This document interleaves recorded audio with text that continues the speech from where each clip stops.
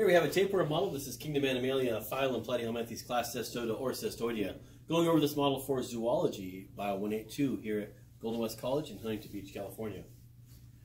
This portion of the body here is called the scolex, and then here we have the strobila.